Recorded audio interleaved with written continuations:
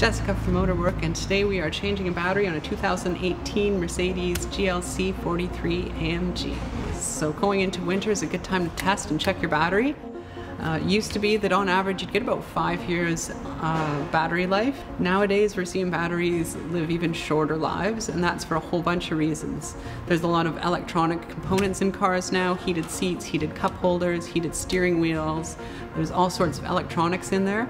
And on top of all that, to give you better fuel economy, the computer will actually decouple your alternator during certain driving conditions to give you better fuel economy the end of the day though it's not charging the batteries. These batteries aren't living as long as they used to be. So having your battery tested going into winter is the best way to avoid either a no start when you go to work one morning in the cold or end up burning out your alternator starter because you're dealing with a weak battery.